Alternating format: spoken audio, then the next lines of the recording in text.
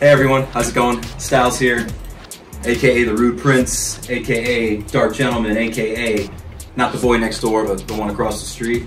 So I just want to go over this real quick. I've been mixing and recording, producing for a long time, okay?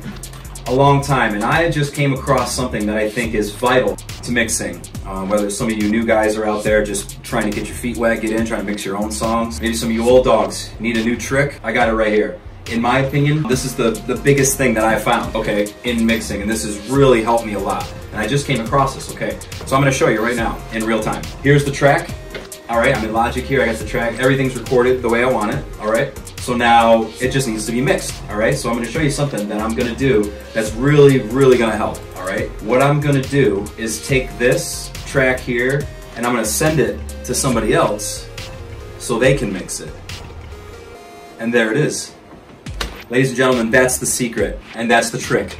So I hope I've helped some of you out there. Any questions, concerns, you know, just shoot me a message. But uh, I, I think that pretty much sums it up. You want great mixes? You want your sound, you know, your tracks to sound good? Send them to somebody else, man.